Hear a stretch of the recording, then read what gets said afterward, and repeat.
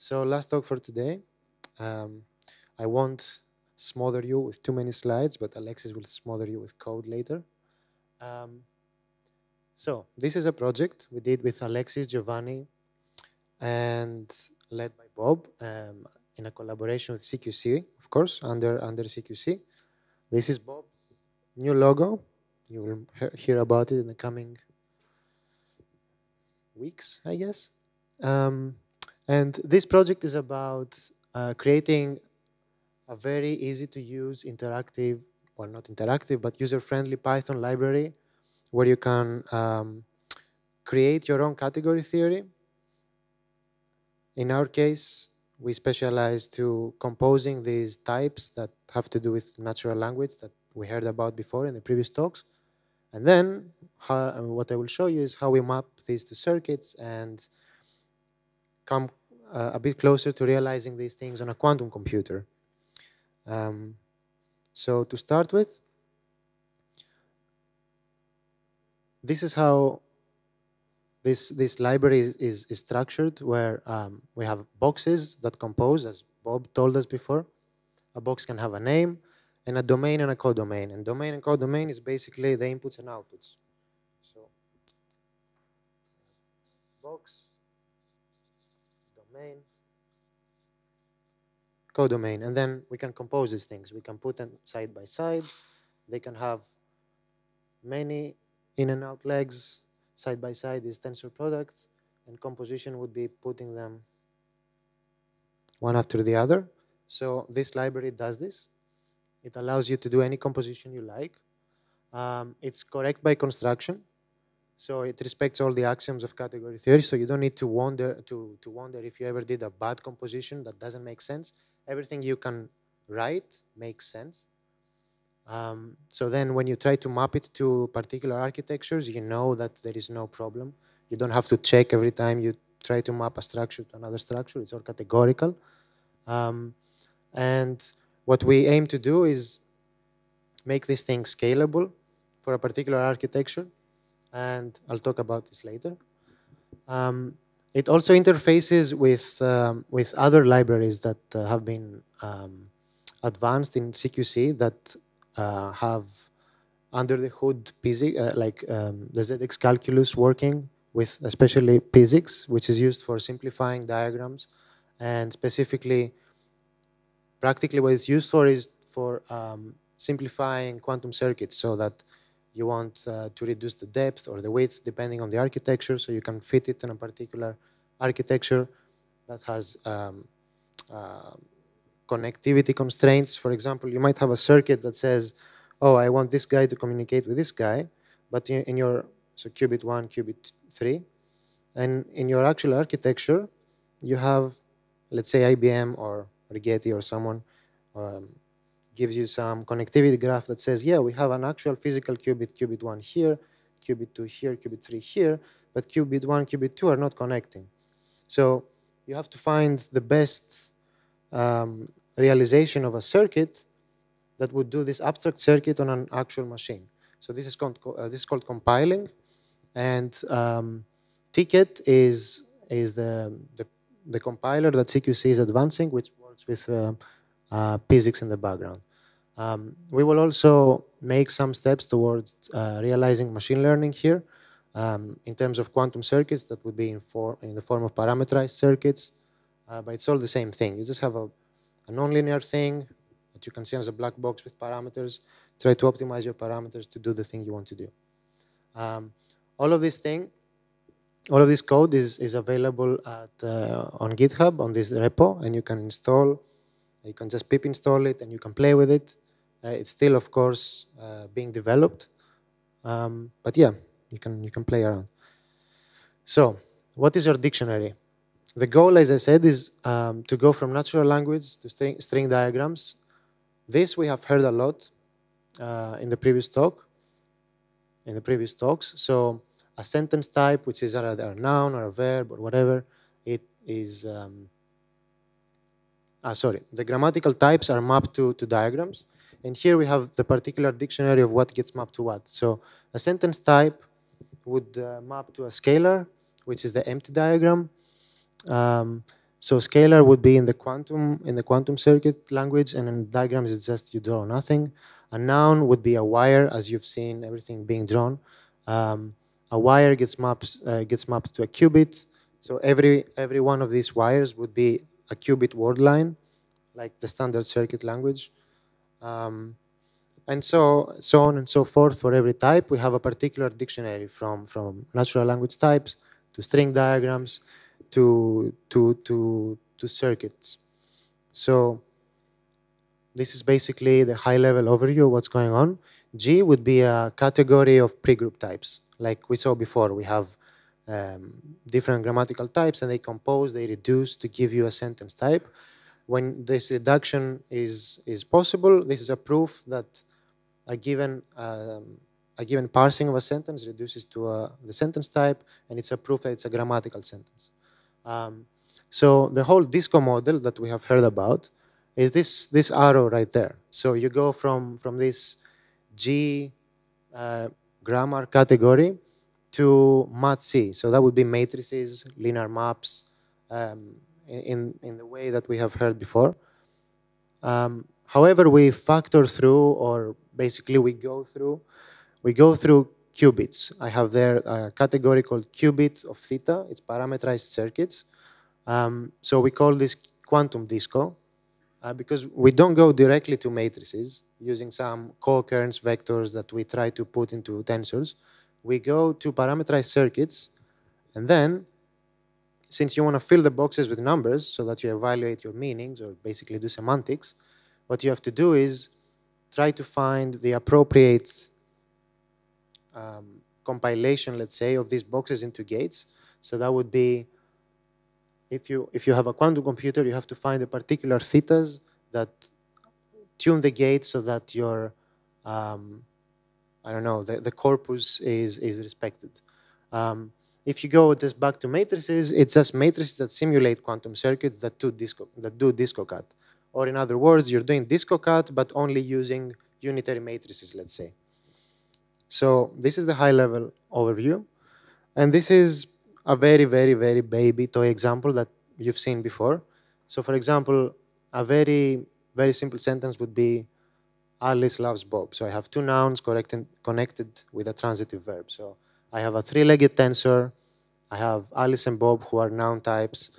Um, as Bob showed us before, and Martha and Dimitris, these, the noun type with, um, with um, a right inverse would cancel. So this, this is basically a proof that these things annihilate. So also here, and then the sentence type remains. So this is a grammatical sentence, and so on. Um, this gets mapped to this circuit. Okay, so I put the triangles back so you see what's going on. We have mapped Alice to the zero state. We have mapped Bob to the one state. And then we have a unitary here, which has a CNOT in there for, for, for to create entanglement, a CNOT, yeah, and a unitary that encodes love. So these these other two cups here would would be um, basically Bell state post selection, and the sentence wire, which was hanging here, is mapped to a scalar, which is essentially going to be the probabilities that you post-select on, on this, the probability that you measure 0001 after the circuit is realized. So that is, that is the semantics, that's going to be the semantics of this sentence. Um, so essentially what's going on is this. I've, if you, if you follow the colors, these cups and cups that are in, in blue have become Bell State Preparation and Bell State Post Selection, and Alice and Loves and Bob are states and unitaries. Here I have just unbent the wires. Instead of doing the Bell State, I've just unbent the wires to make everything in one line. So you see that this is basically Alice loves Bob in, in one line. And this is basically also what's, uh, what's in Will Zeng's algorithm with Bob, where they can bend the wires around to make, to make the circuits look however they want them to look so that they fit them in a particular architecture. So if you did this on a laptop, for example, you want it to look like this because it doesn't take too much space. Um, so depends how you, what you want to do. But this is this is canonical. Every diagram you give us, which looks like this, boom, it gets mapped to a circuit, and then it's, it's your problem to unbend it however you want to do, however you want to bend it to fit in an architecture, or you can just send this to pytket, and PyZX will do its magic and minimize the circuit, and, and that's it. So this is a more complicated example, so you don't only think we do Alice loves Bob every time. So here is an example where we use a relative pronoun, where who is replaced by a, a spider tensor, or a GHZ tensor, a copy tensor, um, which is basically, so who is basically going to be a three-legged thing, and the elements of this tensor is they are, so if we call it delta, because it's like a delta function, it's going to be leg 1, leg 2, leg 3. And the elements of the tensor are 1, where all the legs are the same, leg 2 equals leg 3, so the same index, and 0 otherwise. So this basically what it does, it, it, it copies, right? So Dimitri mentioned something like that. So whenever uh, whenever you uh, require copy operations, you can use this tensor to do, to do the job. So this tensor in a circuit form, it's realized by this, what is included in this box. So it's, it's two CNOTs followed, uh, one after the other.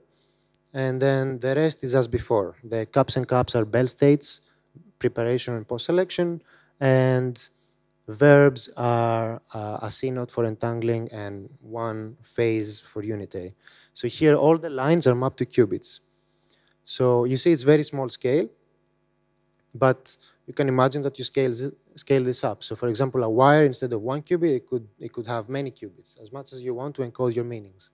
And correspondingly here, we have the sentence wire to be the scalar, so it's the evaluation of the circuit after the Born rule. But you could imagine that you put also qubits there if you, if you want more space for your meaning space to do more complicated tasks. But for now, this is a proof of concept. So these are references where you can find the background ma material for all of this.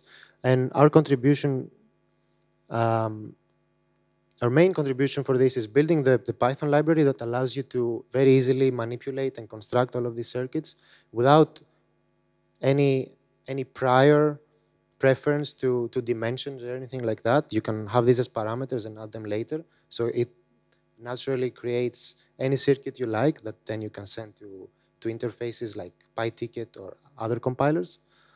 And I guess now it's demo time for Alex to show you how exactly this works. Hello, cool. So yeah, as Bob said, demos never work, so maybe I should start with just the, the GitHub page where you can find the notebooks. Um, so it's at Oxford Quantum Group slash DiscoPy. You can have a look at the notebooks. The code is um, compiled already, so in case it doesn't work, you can always go to the backup. And you can run it yourself, uh, and it's just pip install DiscoPy, and in one click you you're done. So let's go to the demo. So is that big enough? Yeah, I guess it will have to do. So the idea is we've implemented, so as Konstantinos was saying, we've implemented essentially three monoidal categories. So essentially categories of diagrams. So how it works in practice is you import some the pregroup type and the word boxes from DiscoPy. Now you can create your atomic types, your basic types, so in our toy experiment, we're going to use just sentence and noun. Uh, in general, you'd probably want more than that. And you can create a bunch of boxes. So here, the boxes are words, so it's assumed that they are just triangles, they don't have any input, and they are given a type. So for example, Alice has the type noun, and Bob also has the type noun. And I can create complicated types like the, the transitive verb type that we've seen a few times by now. So I take uh, the adjoint of the noun, I tensor it with sentence, and the adjoint of the noun to the other side. And so let's run it and see what happens. Should take a bit of time to load the library and then print us um, vocabulary. So I get a warning because uh, we're not using GPU. So today, uh, these days, it's a warning if you're only doing stuff on your MacBook. But um, the, the idea is you can deploy this algorithm very easily to GPU. It's kind of GPU native. Um, and OK, so now that we have a bunch of boxes, a bunch of words, we need to create some grammar. So how do you create a grammar? Well, you need diagrams, right? So you can import diagrams, and well, diagrams are going to be made of wires and cups. So we want to implement this Alice loves Bob picture that Konstantinos showed you.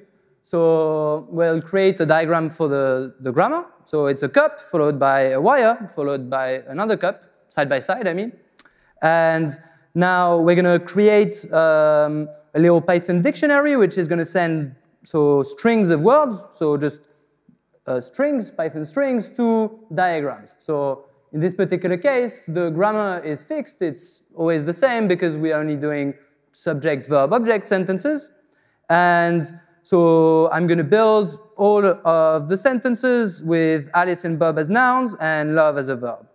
So now if I try to print um, one of the diagrams, so let's pick Alice loves Bob as our favorite example, I get this uh, complicated expression here, which tells me that how to build Alice loves Bob is first I do Alice, then I have a wire noun for what was the output of Alice, and I do Bob, uh, I do loves, then I have a more complicated wire and I do Bob, and then I do my two cups. So essentially the way it's stored under the hood is you have a diagram is made of uh, domain type, so here is the empty type, uh, and a codomain, which is sentence in this case. Then you give me a list of boxes, and you give me a list of offsets. So the offsets tell me where to put the box in the diagram, and that's it. So that's why you get, instead of Alice, tensor love, tensor bob, you get one line for each is essentially it's a funny monoidal category, so you have to do the interchanger by hand if uh, that speaks to some of you. So if I print the list of grammatical sentences, I get Alice loves Alice, Alice loves Bob, Bob loves Alice, and Bob loves Bob. So that's our small language. And now, well, sentences are diagrams, and well, circuits are diagrams as well. So we can import the circuit module from DiscoPy. We can import some gates. So here we'll need uh, the identity gate and the X rotation and the control nut. And we can build our Leo diagram. So here I'll just do a rotation on X on the left qubit, then identity on two qubits, then a, a CNOT and a rotation, some random circuit. So that's what it looks like in DiscoPy. So I'll try to import ticket and let it load, and that's what it looks like in pytket. So uh, you can go back and forth. So if you have your pytket circuit, you can also turn it back into a diagram. And in this case, the diagrams are not exactly equal because of this interchanger that I told you. So if you have a tensor like this or a tensor like that, they should be equal in terms of categories, but uh, we treat them as different. But you can always do the interchanger, um, the interchanger explicitly. So my, C, my circuit C0 is actually equal to C1. So now let's, we can use predefined gates, but we can also create our own gates. So we'll create this H gate, uh, which is a one qubit gate, and we need to tell uh, DiscoPy what the array for this one qubit gate is, and I'll make it the Hadamard the 111 minus 1, uh, and you notice that it's not a normalized gate in a sense that it's this one is only a unitary, is a unitary only up to a number. So there's a missing square root 2 in this. But I guess as long as we're doing diagrams, we don't really care about normalization just yet. So it's fine to have gates that are not actually quantum gates. But from this, I'll create a small uh, function which takes a phase and builds me a small ansatz for the verb. So let's see what this looks like. We've got a matrix so matrix is another class of DiscoPy. Uh, essentially, it's NumPy matrices with extra uh, bureaucracy on top to keep track of domain and codomain. So um, I have this matrix, and it's indeed the Bell state. Well, almost the Bell state because there's this missing square root 2 factor, but it's indeed the matrix 1, 0, 0, 1, as we as we would want. So I guess this intuition that like the Bell state is just an identity wire bent around, uh, you can see it here, you have the identity matrix. So we can compose diagrams, we can also take the dagger of diagrams, and that's how we implement, uh, let's say, similarity in our model. Uh, I guess here it would tell you what the uh, inner product of the two states would be. So in this case, I do the verb ansatz for 0, for 0, 5, and I get almost 0 as an inner product. They're almost orthogonal, or up to 10 to the minus 15. Now, if instead I do my verb ansatz with itself, and I take that dagger, the inner product is indeed 1. Well, up to, uh, up to a normalization factor because of what I've just uh, told you about the H gate. So What's the point of this? Now we have grammar implemented in terms of diagrams, and we have circuits implemented in terms of diagrams. And they are indeed the same picture. What does it mean is we can build a functor from our grammar to quantum circuits. So what does this, this functor look like? I can import this circuit model class from DiscoPy. I give it an image on objects. So in our toy example, we're just saying sentences are scalars, so zero qubit and nouns are qubits, so one qubit.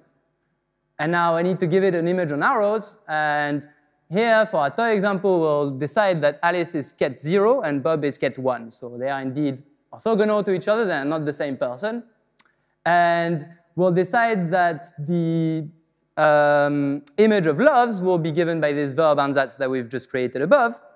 So now we can construct uh, functors by just giving their image on objects and their image on arrows.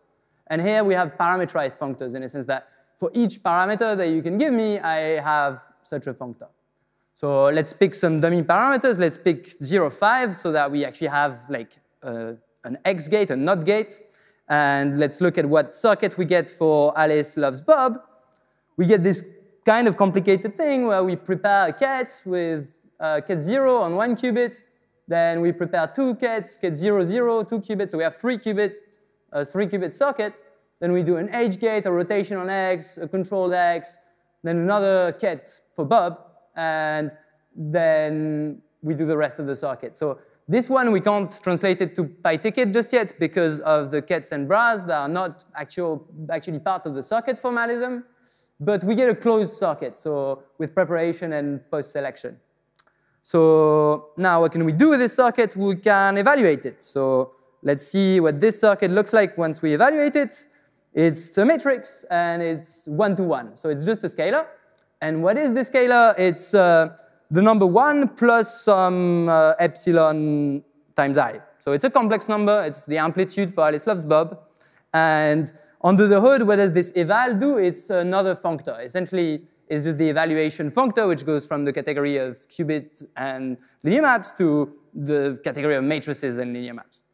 So we evaluate, we get an amplitude, and we can also measure, which basically means evaluate and then do the Born rule. And what do we get? Well, if we get something close to one, it means Alice really loves Bob. If it's close to zero, it means she doesn't. So let's check. She does.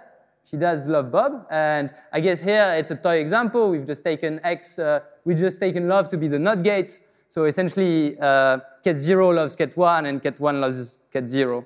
But let's uh, build a corpus. So for each sentence now, we want to evaluate our functor. So let's evaluate f params for each sentence, and then print which sentences are true and which sentences are false. We get the NOT gate. So Alice loves Bob, Bob loves Alice. They don't love themselves.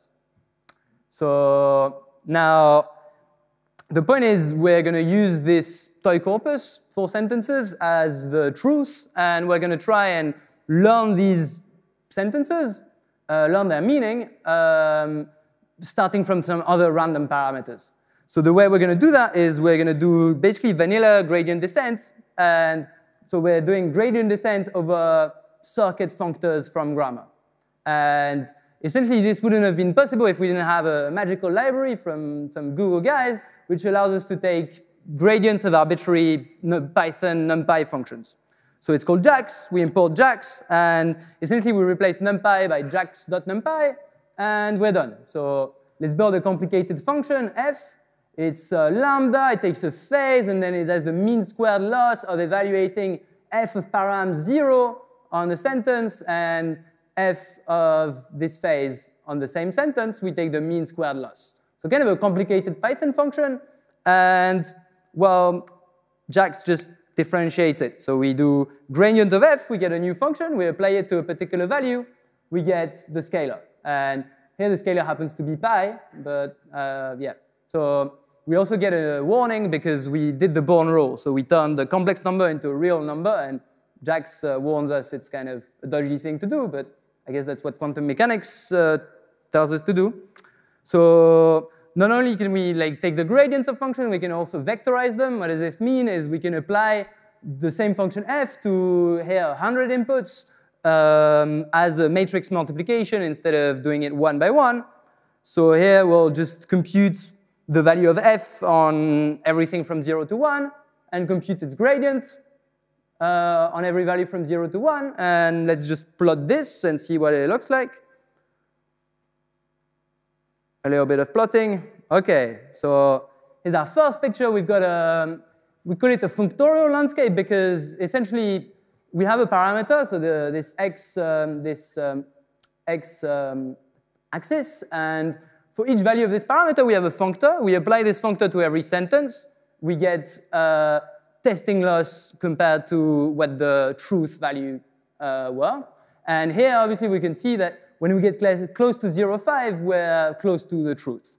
So we can also compute the gradient, and we, we see indeed the, the two of them are like uh, are going to be um, periodic functions because of all the, the, the, nice symmetries we have with our phase rotations.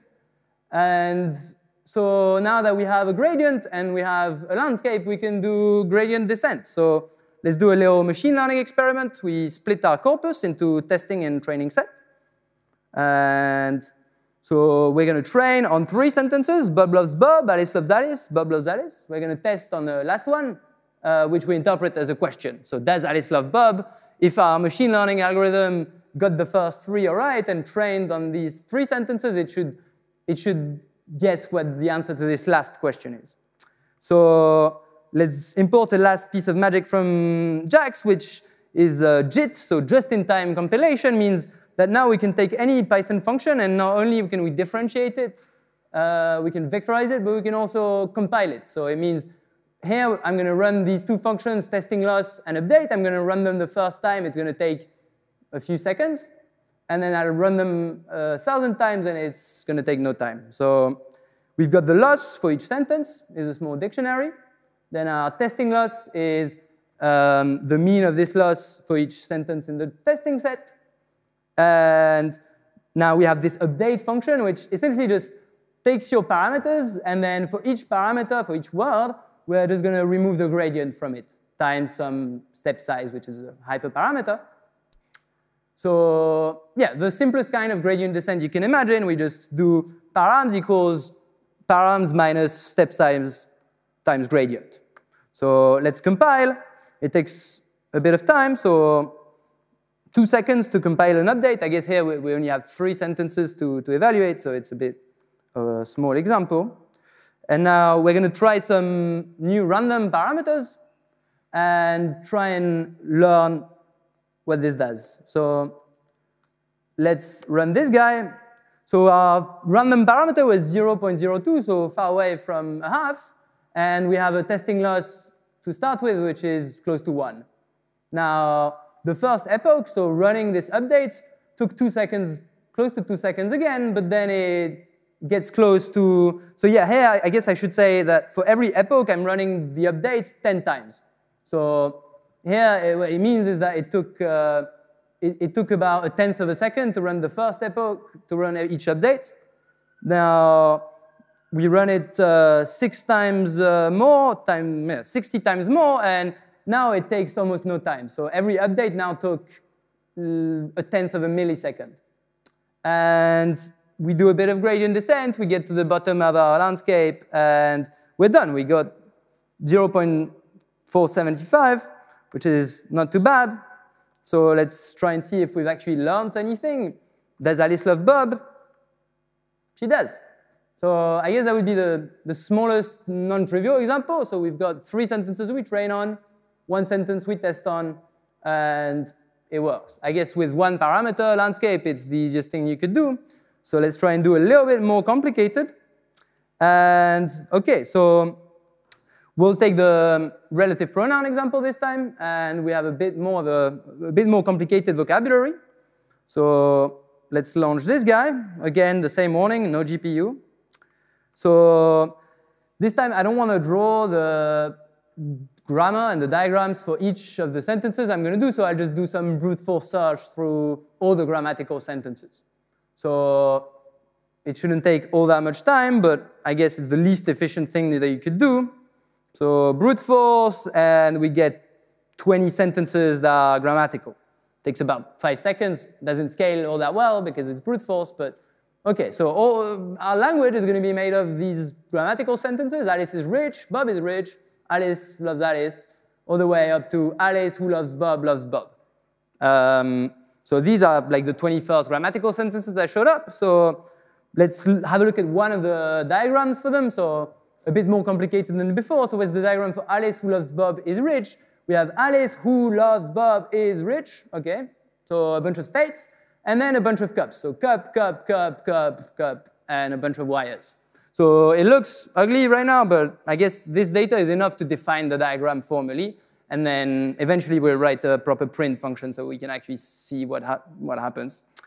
Um, so, okay, so as Konstantinos was saying, we're going to interpret the relative pronoun with a GHZ state. So let's build a small circuit that actually does the GHZ.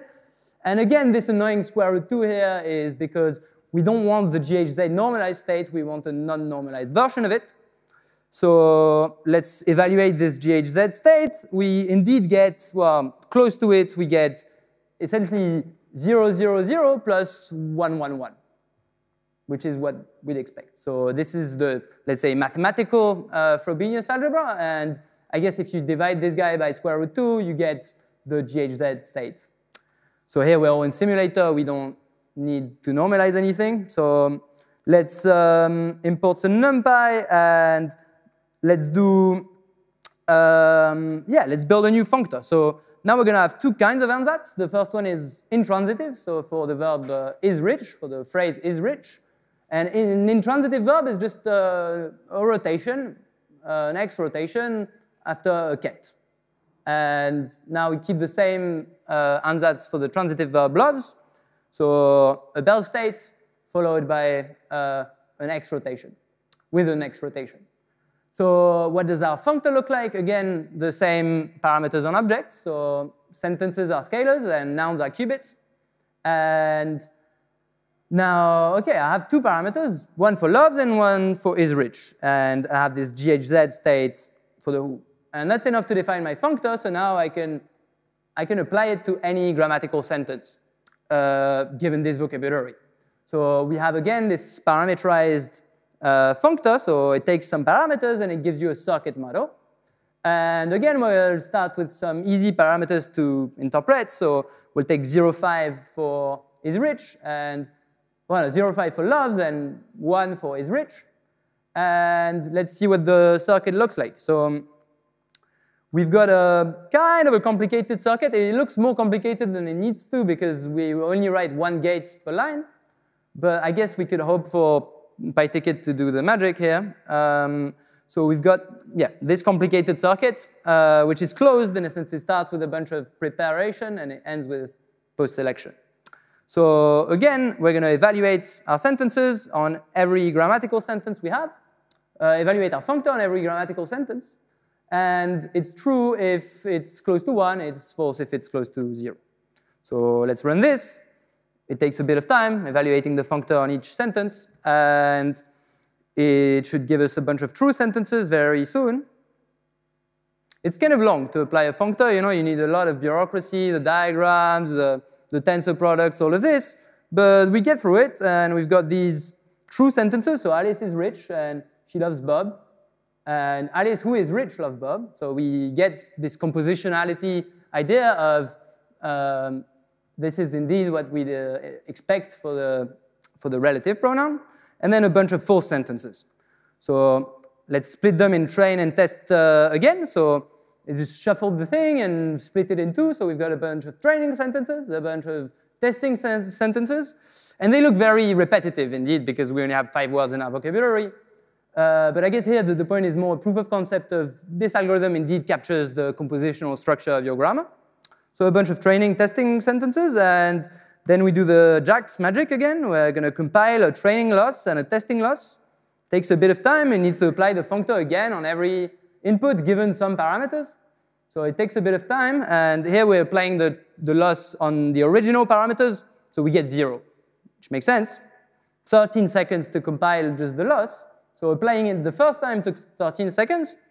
Let's do the same for the update. So again, we'll do a vanilla gradient descent. We just do params minus step size times the gradient.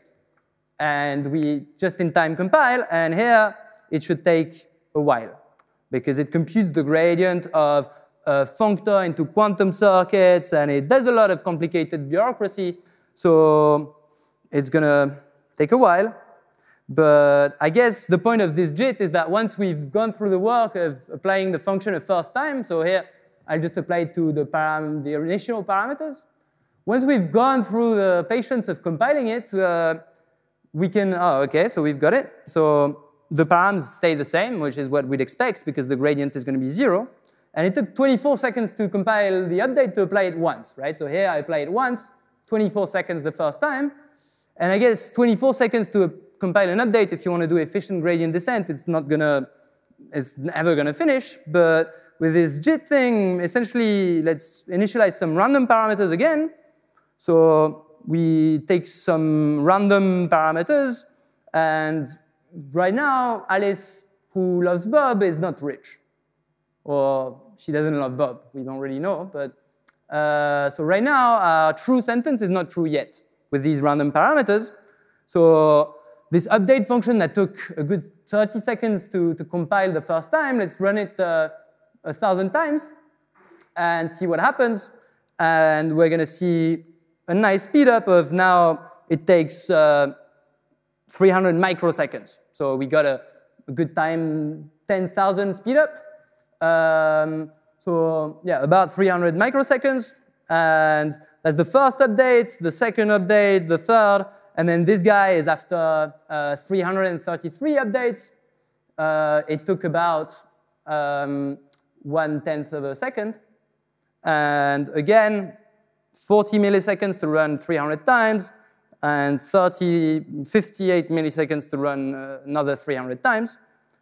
So in the end, we get something very close to the truth in the sense that our loss went very close to zero. So let's check if Alice, who loves Bob, uh, is indeed rich, rich. So let's see, yes, she is. So we've actually learned. So let's go back and check that the Alice who loves Bob is rich was not in our training set.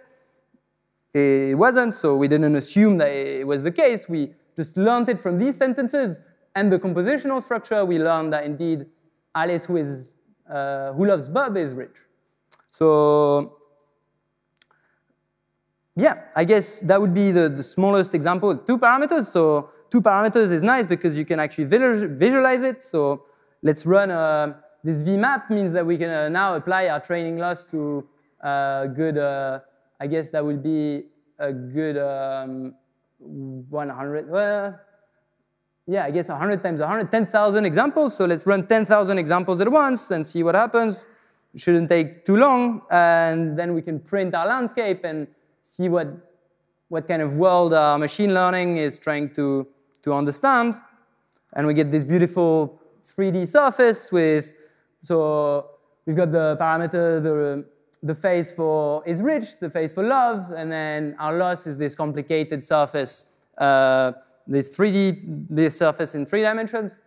And now I guess the whole objective will be to scale this up to really high dimensional stuff. So the, the, the kind of parameters that you can adjust will be making the noun space more than one qubit, making the sentence space more than a scalar, uh, having more than two parameters, and you get uh, not, toy, not so toy model of language. So that's all for the demo, and it actually worked, so I'm kind of happy.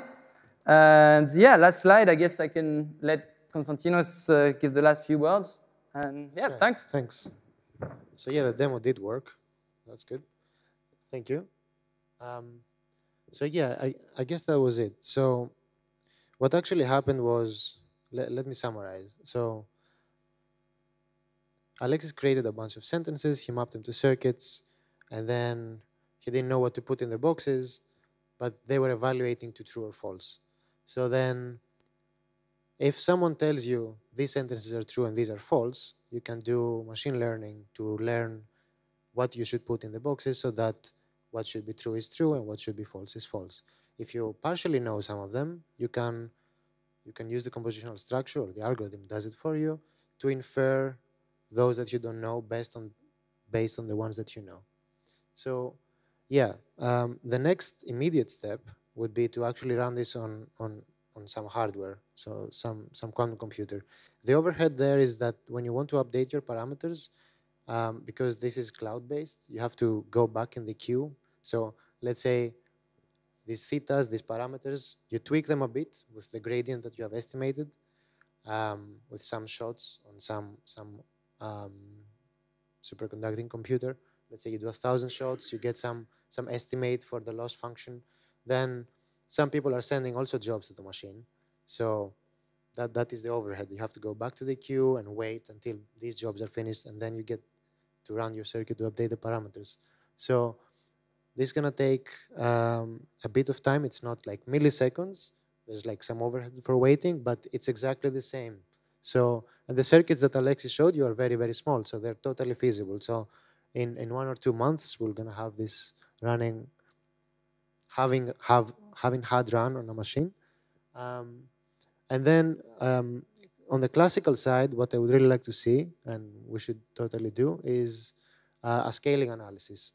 Adding more qubits, growing the corpus, growing the sentences, uh, making the grammar more complicated, and we want to see how these variational circuits converge. So the convergence behavior is very important. Um, so because then then that gives you also an estimate of how long you have to wait on an actual machine. Um, what else do I need to say? Yeah, I have to disappoint uh, Chris Manning. We're, have to run some benchmarks at some point, comparing with with with what is known, and and then we have to graduate at some point to running Grover to do the Zeng-Coecke thing for closest vector to compare sentences or or maybe nouns to start with, but running Grover on a machine maybe it's not so NISQ, but maybe we, we can be smart about it at some point. We'll, we'll tell you. We'll tell you. Coming soon. Uh, I guess I guess this is all the comments I wanted to make. Yeah. Thank you.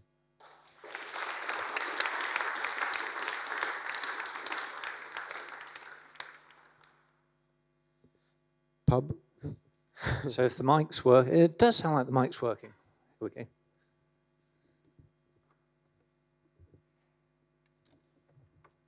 So obvious question, if you have the, the string diagram thing, why don't you simplify the diagram and generate the circuit from the simplified diagram? It'd be much smaller.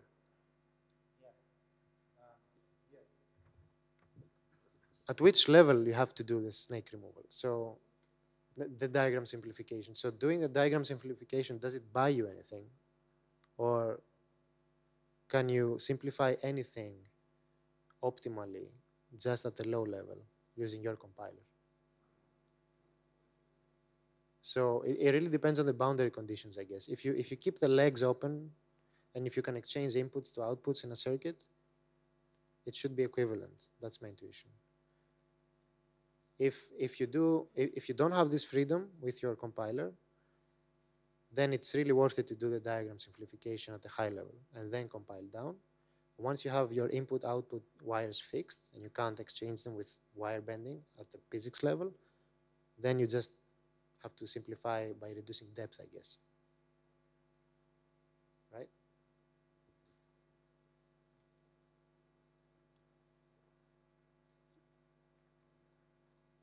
More questions? To do like a thousand shots on the big machines, it was something like of the of the order of seconds.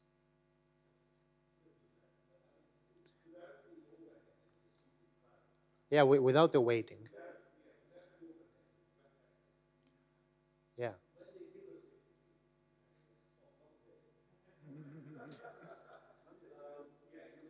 If you if you don't have to queue, if you don't if you don't have to queue, and the only overhead is sending it, running it, and reading it back, it's some seconds for a thousand order of thousands of shots for some machines, and then it depends how many updates you have to do. So then it depends on the landscape, and that's why I said we have to do some scaling analysis. Because when you add more parameters, the, the landscape is going to be horrible.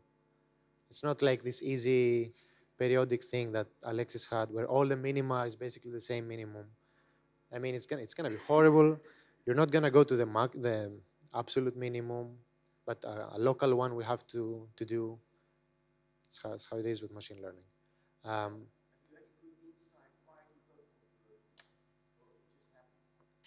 why you have convergence? I guess this has to do with the universal approximator theorem. In our case, it's just too small. It goes quick because it's small. It's two, two parameters. It's an easy landscape, as I said. But in general, I mean, Christina also there would, would know that stuff is, is horrible. Like you, you have these barren plateaus, as they call them. All the, all the local minimum look, minima look the same. I, this is a generic problem also in classical machine learning. It's not a quantum thing. It's about landscapes of nonlinear stuff. We have two more eager-looking questions, so we'll take those two and then let you all go. Um, so I just wanted to clarify, how many iterations was it before it converged? And then also the second demonstration that you had, um, how many qubits was required for that encoding? The first was three, if I understood correctly. That's right. Um, what was it? So, so five, you said, Alexis? so in my in my picture I have one, two, three, four, five, six, seven, eight. This is this is the most. This is eight by not optimizing anything, it's still pretty small. And the iterations are like ten or something like that, and then you have converged with crazy accuracy. So uh, three or four would do.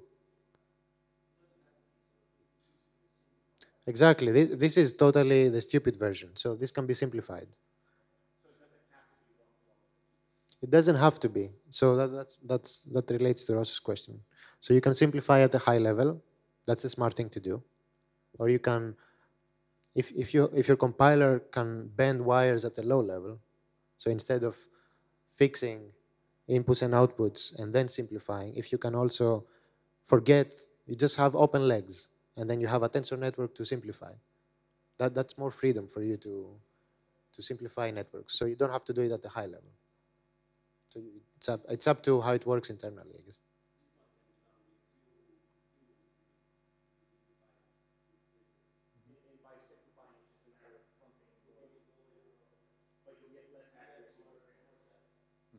No, you don't. You don't lose accuracy or anything. It's just reshaping.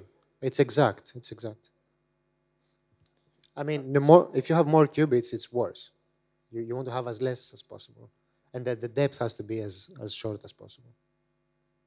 This is this is just for me to show that this is this is in principle possible to to map any of these guys into a circuit. I'm not showing you the optimal circuit.